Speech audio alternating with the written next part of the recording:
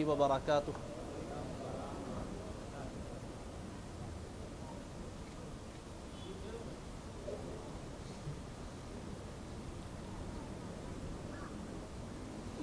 الحمد لله الحمد لله رب العالمين والصلاة والسلام على حبيبه سيد الأنبياء وأشرف المرسلين وعلى آله الطيبين الطاهرين وأصحابه الأكرمين الأفضلين.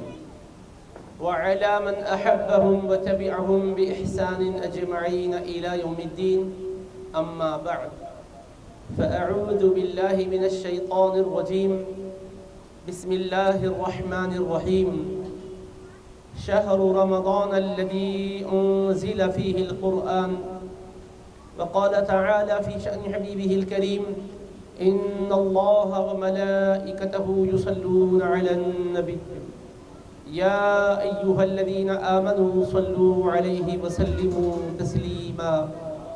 اللهم صل على سيدنا محمد وعلى آله وصحبه. أفضل صلواتك وعدد معلوماتك وبارك وسلم. تقدس مآب. سرپرست تحریک اصلاح عقائد و اعمال، معزز مشائق کرام، علماء اظام خطباء ذویل احترام، مکرم حاضرین و سامعین، پس پردہ سماعت فرمانے والی تقدس معاب ماؤں اور بہنوں۔ اللہ تبارک و تعالیٰ کے فضل و کرم سے آپ حضرات نے اس مبارک اجتماع میں شرکت کے ساتھ ہی علماء کرام کے قیمتی خطابات سماعت کیے ہیں۔ ابھی آپ فاضل جلیل، مولانا حافظ محمد ظہیر الدین حفظ اللہ کامل الحدیث جامع نظامیہ سے۔ نہایت ہی معنی خیز تقریر سماعت فرمائی ہے یہ ساری باتیں دعوت دیتی ہے کہ انسان اپنی عملی زندگی کو باقیزہ بنائے آنے والے مقدس مہینے کا استقبال بھی کرے اور اس مبارک مہینے میں عبادت اور طاعت کا اہتمام بھی کرے۔ عزیزان محترم، اللہ کے حبیب صلی اللہ تعالیٰ علیہ وآلہ وصحبہ وسلم ہی کی نسبت سے یہ نعمت اور دولت ہمیں عطا ہوئی ہے۔ مہینہ تو شان والا ہے قرآن مجید میں اس کی عظمتوں کا بیان۔ ان کلمات کے ساتھ آیا ہے، شہر رمضان الذی انزل فیہ القرآن۔ رمضان کا وہ بابرکت مہینہ ہے جس میں قرآن کریم نازل فرمایا گیا۔ تو اللہ تعالیٰ نے قرآن کے نزول کا مہینہ کہہ کر اس کا تعارف کروایا پورے قرآن مجید میں آپ پڑھیں گے تو ماہ رمضان کے بارے میں یہ ملے گا کہ یہ قرآن کے نزول کا مہینہ ہے جو قرآن ہدایت کی کتاب ہے، حق و باطل میں امتیاز کرنے والے دلائل اس میں موجود ہیں۔ اور یہ بھی ملے گا کہ اس مبارک مہینے میں روزوں کا اہتمام کرنا چاہیے۔ روزے کے کچھ احکام اللہ پاک نے بتلائے ہیں۔ لیکن ماہ رمضان کی فضیلت میں جو اجر و ثواب کا معاملہ ہے، ابھی آپ نے سماعت فرمایا۔ نبی کریم علیہ السلام کا نشاد مبارک سنا۔ من تقرب فیہ بخصلت من الخیر کانا کمن ادا فریضتا فیما سوا ومن ادا فریضتا فیہ کانا کمن ادا سبعین فریضتا فیما سوا کہ جو رمضان کے مہینے میں کسی نفل کام کے ذریعے سے کسی بھلائی کے کام کے ذریعے سے اللہ کا قرب حاصل کرتا ہے، تو دیگر مہینے میں فرض ادا کرنے والے کے برابر ثواب اسے عطا کیا جاتا ہے۔ ومن ادا فریدتاً فیہی کاما کانا کمن ادا سبعین فریدتاً فیما سوا اور جو ماہ رمضان میں ایک فرض ادا کرتا ہے، دیگر مہینوں کے بالمقابل ثواب کتنا ملتا ہے؟ ستر فرضوں کے برابر ثواب عطا ہوتا ہے۔ تو یہ فضیلت قرآن کریم کی آیتوں میں اللہ نے نہیں بیان کی ہے۔ یہ زبان رسول مقدس علیہ السلام سے ہمیں معلوم ہوئی ہے۔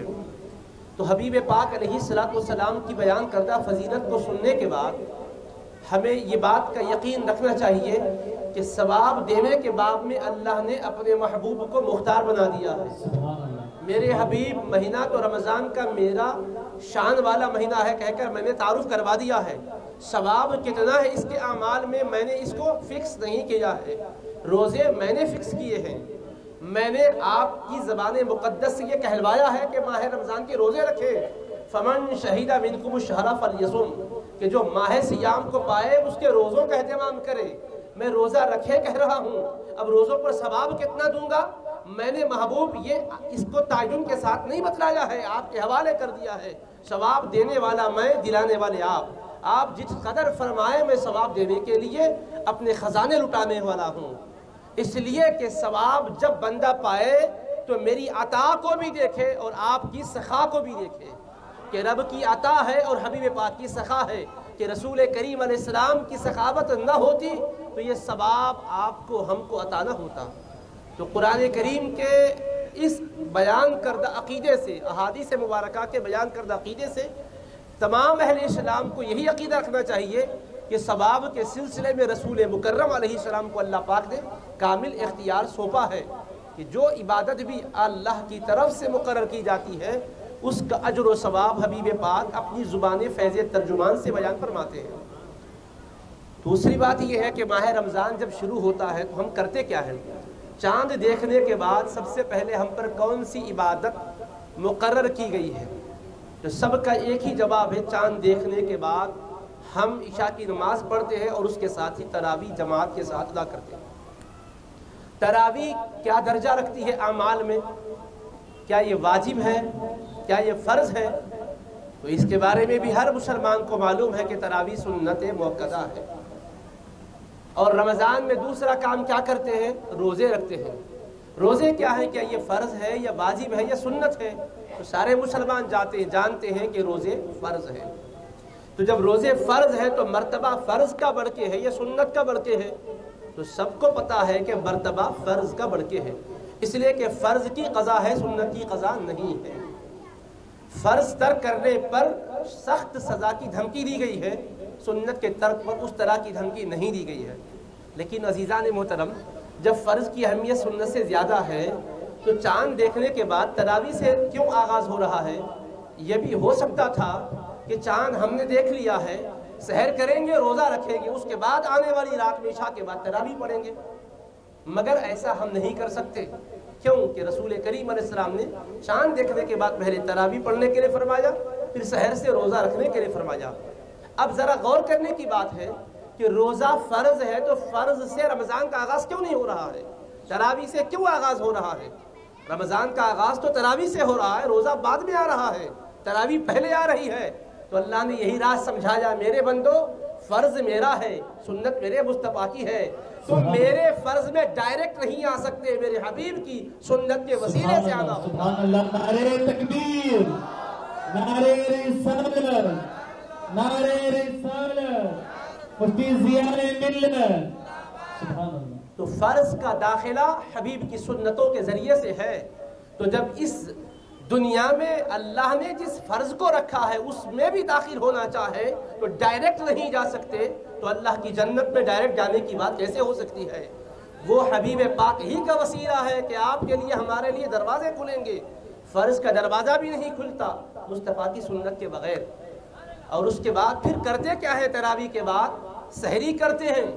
آپ یہ بتائیے کہ روزہ فرض ہے تو روزے میں کتنی چیزیں فرض ہیں؟ فرض میں بھی کوئی فرض ہوگا۔ جیسے نماز فرض ہے تو نماز میں بھی کچھ چیزیں فرض ہے نماز کے اندر بھی کچھ فرض ہے نماز کے باہر بھی کچھ فرض ہے نماز سے پہلے بھی کچھ فرائض ہے نماز کے اندر بھی کچھ فرائض ہے میں فرائض کی تفصیلات نہیں سنانا چاہوں گا، صرف اتنا عرض کرنا چاہوں گا کہ روزہ فرض ہے تو روزے میں کیا چیزیں فرض ہیں؟ تو سارے مسلمان جانتے ہیں تین چیزیں فرض ہے کھانا نہ کھائے، پانی نہ پیے ازدواجی تعلق قائم نہ کرے۔ میاں بیوی کا خاص تعلق بھی نہ ہو اس کو بھی چھوڑ دے، کھانے کو بھی چھوڑ دے، پینے کو بھی چھوڑ دے۔ تو تین چیزیں چھوڑنا ہے، یہ فرض ہے۔ تو سحری کیا یہ فرض ہے؟ تو جواب یہی ہے کہ سحری فرض نہیں ہے۔ تو پھر ہے کیا؟ سنت ہے۔ اور پھر اس کے بعد افطار کیا ہے؟ یہ بھی سنت ہے۔ تو اللہ نے بتایا، فرض میں بھی آؤ گے، تو میرے مصطفیٰ کی سنت کے سہارے ہی سے آنا ہوگا۔ فرض تک پہنچنے کے لیے تراوی کی سنت بتا دی گئی ہے کہ رمضان شروع ہوتا ہے تو مصطفیٰ کی سنت سے، اور فرض کا آغاز بھی ہوتا ہے تو مصطفیٰ کی سنت سے آغاز۔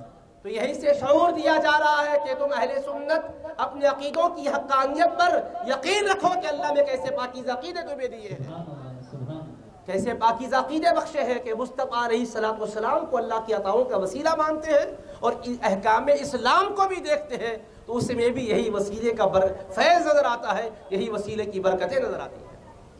اس کے بعد شہر میں کیا ہوتا ہے؟ تو کیا ہوتا ہے؟ کھانا کھاتے ہیں پانی پیتے ہیں۔ جو کچھ بھی اللہ نے بندوں کے لیے میسر کیا ہے اس سے وہ استفادہ کرتے ہیں۔ ٹھیک ہے۔ تو کب کھاتے ہیں شہری میں کھانا؟ کب پیتے ہیں آپ شہر میں؟ تو کہتے ہیں صبح صادق سے کچھ پہلے ٹائم عام طور پہ کیا ہوتا کبھی چار بجے، کبھی چار بج کے دس منٹ پر، کبھی پونے چار بجے، آس پاس یہی وقت ہوتا ہے۔ تو یہ وقت شہر کا ہے تو شہر میں کھاتے ہیں ہم لوگ، پیتے ہیں ہم لوگ۔ ذرا مجھے یہ بتاؤ، دنیا بھر میں کوئی یہ ٹائم پر کھاتا بھی ہے؟ کوئی یہ ٹائم پر پیتا بھی ہے؟ پوری دنیا میں کھانے کا جو ٹائم ہے، رات کی ان گھڑیوں میں نہ کھایا جاتا ہے، نہ پیا جاتا ہے۔ کھانے کا دنیا بھر میں وقت کہیں بھی یہ نہیں ہوتا۔ پھر یہ کیا وجہ ہے کہ شہری میں اس وقت کھلایا جا رہا ہے؟ ایسے وقت پر کھلایا جا رہا ہے جبکہ کھانے کا وہ وقت بھی نہیں ہے ٹائم بھی نہیں ہے۔ تو یہی تو راز اللہ سمجھانا چاہتا ہے میرے بندے۔ کھانے کے ٹائم کو نہ دیکھ کھلانے والے مصطفیٰ کو دیکھ۔ یہ دنیا بھر میں کھانے کا ٹائم نہیں ہے مگر میرے حبیب اس وقت کھائے ہیں۔ میرا فرض شروع ہوگا تو اسی وقت کھانے سے شروع ہوگا۔ اس لیے میرے مصطفیٰ کی سنت میں تو کھا لے۔ کوئی کہتا ہے، نہیں میرے مولا، میں نہیں کھاتا. میں بڑا طاقتور ہوں، بڑی ہمت والا ہوں. میں عشاء کے بعد کھا لیا، بس میرے لیے یہی کافی ہے. میں اس وقت اٹھ کر نہیں کھاؤں گا. تو رب کریم کے محبوب سے اللہ کہلواتا ہے میرے حبیب. ان لوگوں کو سمجھا دیجیے، اپنی طاقت اور قوت کا اظہار نہ کریں. تسحرو، سحری کر لیا کریں. فَإِنَّ فِي السَّحُورِ بَرَكَةً اس لیے کہ وہ رات کے کھانے میں برکت نہیں ہے. اس گھڑی کے کھانے برکت ہے جس گھڑی میں میرے حبیب کھائے ہیں. تو لہٰذا برکت حاصل کرنا ہو تو کھانا ضروری ہے۔ طاقت و قوت ہوگی تمہارے پاس مگر ہر قوت والے کے پاس برکت نہیں ہوتی ہے۔ مصطفیٰ کی سنت جہاں ہے وہاں برکت ہوتی ہے۔ تو لہٰذا یہ میرے حبیب کی سنت ہے تم کھاؤ تو برکت تمہارا مقدر بنے گی سعادتیں تمہیں نصیب ہوں گی۔ تسحروا فإن فی السحور تو سحری کیا کرو کیونکہ سحری کرنے میں برکت ہے۔ حبیب پاک علیہ السلام والسلام کا تصدق کو دیکھیے۔ روزہ جیسی اہم عبادت ہے تو اس میں بھی بتایا گیا حکمرانی میرے مصطفیٰ کی ہے۔ میرے حبیب جس وقت کھلائے تم کھا لو جس وقت کہے نہ کھاؤ تو رک جاؤ کھانے سے باز آ جاؤ۔ کھانے کے دانوں میں کچھ نہیں رکھا ہے میرے حبیب پاک کی اداؤں میں سب کچھ رکھا ہوا ہے۔ تو اللہ تبارک و تعالیٰ نے ہمارے شعور و فکر میں یہ باقیزہ بات ڈالی ہے تاکہ رسول کریم علیہ السلام والسلام کی نسبت کے فیض کو سمجھے۔ تو کوئی ایسا موضوع نہیں ہے جس میں حضور کی نسبت کی بات نہ آتی ہو۔ ایسا نہیں ہے کہ صرف میلاد کے مہینے ہی میں یہ عنوان آتا ہوگا۔ خالص رمضان کا عنوان ہے تو اس میں کوئی ایسی بات نہیں آتی ہوگی۔ اس میں بھی ہم ایمان سے دیکھیں تو سرکار کی شان کے جلوے نظر آتے ہیں۔ اللہ تبارک و تعالیٰ بتانا یہ چاہتا ہے، روکھی سوکھی عبادتیں نہ پیش کیا کرو، میرے حبیب کے عشق و محبت کے جذبات سے لبریز ہو کر عبادت بھی کیا کرو، طاعت بھی کیا کرو۔ اب اس کے بعد ہوتا کیا ہے جب آپ روزہ رکھتے ہیں تراوی پڑھ لیتے ہیں؟ سب کو تو یہ بات معلوم ہے کہ حج کی بڑی فضیلت ہے۔ اور سب سے بڑی فضیلت یہ ہے کہ جب انسان حج کر کے آتا ہے، تو اس کی زندگی اب یہاں سے نئی شروع ہوتی ہے۔ سارے کے سارے سابقہ دفتر اس کے پاک صاف کر دیے جاتے ہیں۔ اس کے کھاتے میں کوئی گناہ نہیں رہتا۔ نیا اب گویا اس کا دفتر کھلتا ہے۔ حدیث پاک سب کو معلوم ہے۔ اسی فضیلت کے حصول کے لیے بندہ کتنی محنت نہیں کرتا ہے، عمر بھر میں حج صاحب استطاعت پر ایک مرتبہ فرض ہے۔ اور اس فرض کے لیے محنت بھی ہے، مال بھی خرچ کرنا ہے، سفر کی تکلیفیں بھی برداشت کرنی ہے۔ سب کچھ کرنے کے بعد آتے ہیں تو کیا ہوتا ہے؟ حج کر کے آتا ہے تو گویا اب اپنی ماں کے پیڑ سے پیدا ہوا ہے۔ عزیزان محترم، ذرا رمضان بھی دیکھو آپ۔ حبیب پاک نے یہ فضیلت حج کی سنائی تھی اور رحمت مصطفیٰ کے دریا کو جوش آیا۔ حج تو مالدار ہی ادا کرے گا۔ میری امت میں مالدار ہی نہیں ہوں گے، غریب بھی ہوں گے، مسکین بھی ہوں گے۔ ان کے دل میں بھی جذبہ ہوگا کہ کوئی ایسا عمل بھی ہم سے ہو جائے کہ جہاں سارا دفتر ہمارا کلوز کر دیا جائے، نئی زندگی کا آغاز ہو جائے۔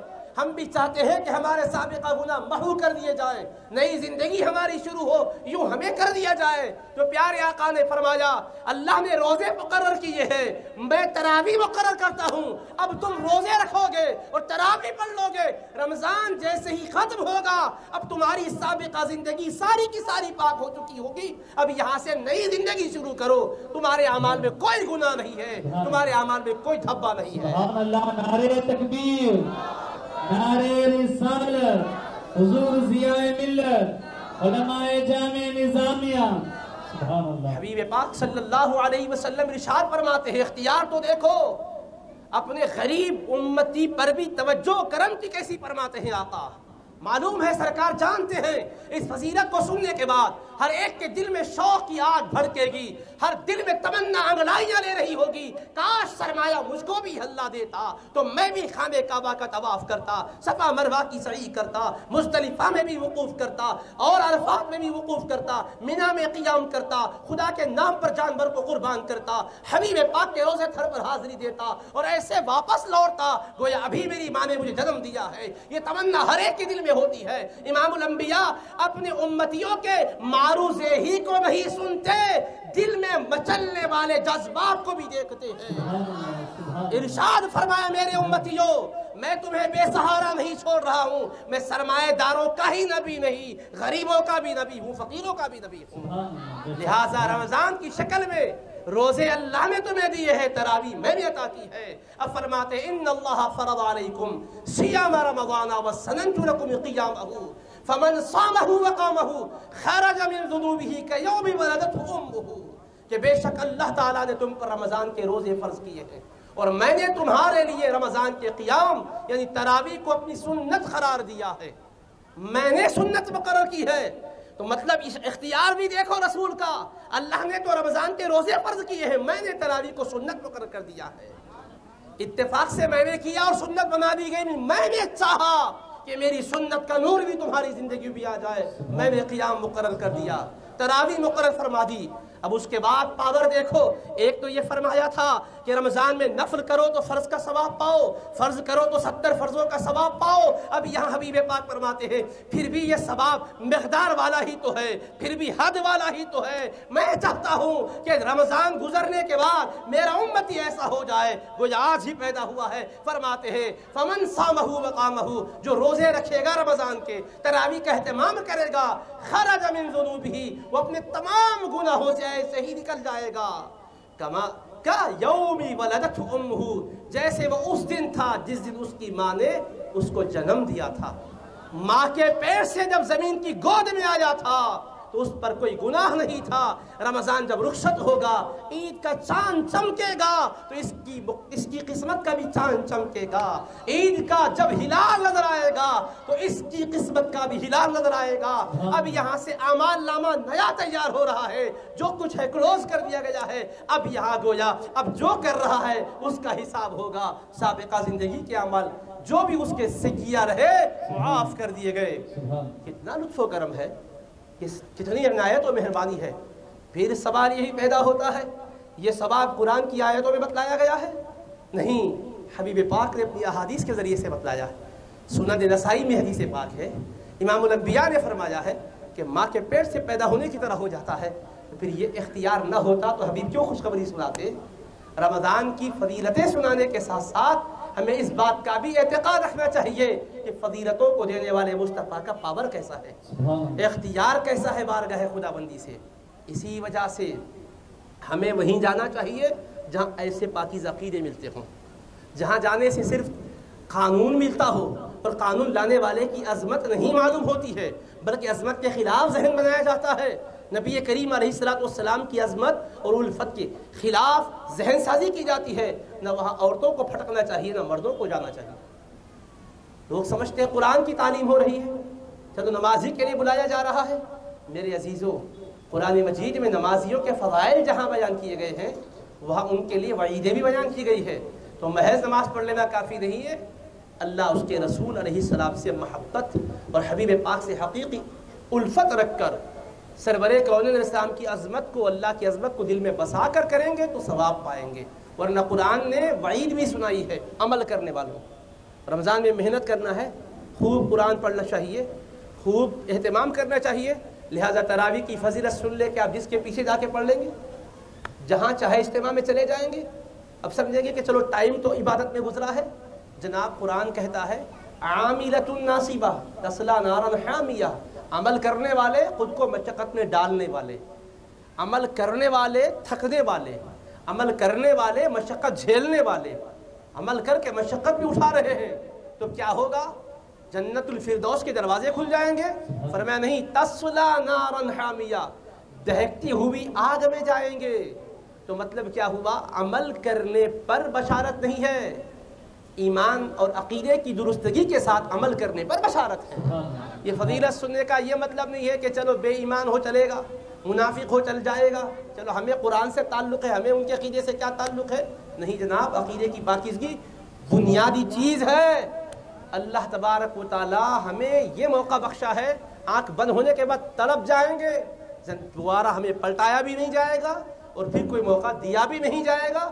اس وجہ سے اپنے عقیدوں کو پاکیزہ بنانے کی فکر کیجیے، اعمال کو سواریے اور اچھوں کے ساتھ رہیے سچوں کے ساتھ رہیے اللہ کا یہی حکم ہے۔ وَكُونُوا مَعَ الصَّادِقِينَ۔ حبیب پاک کی یہی تعلیم ہے۔ اللہ سے میں دعا کرتا ہوں کہ پروردگار، آنے والے مبارک مہینے کا ہم سب کو جیسا کہ تیرے حبیب نے بتلایا، اس سے تعلیم کے مطابق استقبال کرنے کی توفیق عطا فرما، اہتمام کرنے کی توفیق عطا فرما، احترام کرنے کی توفیق عطا فرما۔ جو اس میں عبادات و طاعت مقرر فرمائی گئی ہے مولا، انہیں بحسن خوبی، خوش و خضو کے ساتھ صدق دل کے ساتھ انجام دینے کی توفیق عطا فرما اور اس کی برکتوں سے ہم سبوں کو مالا مال فرما۔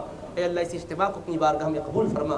تمام بزرگ و جوان کو اے اللہ، اپنے فضل و کرم سے مالا مال فرما۔ ماؤں بہنوں کو اپنی عنایتوں سے شاد کام فرما۔ سب کی دلی مرادیں پوری فرما۔ نیک تمنائیں برلا، تڑپنے، پھڑکنے کی توفیق دے۔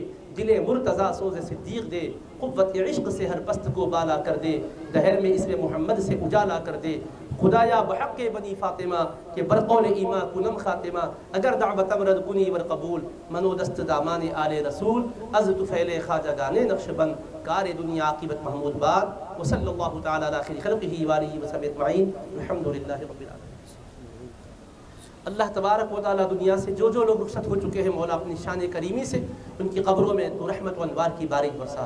ان کو اے اللہ، اپنے فضل و کرم سے تو ایسا سرفراز فرما کہ وہ تیری رضا اور تیرے حبیب کی رضا کو حاصل کرنے میں کامیاب رکھے۔ قبروں میں رحمتوں کی بارش برسا دے۔ اے اللہ، جنت کے حسین باغات میں تبدیل فرما۔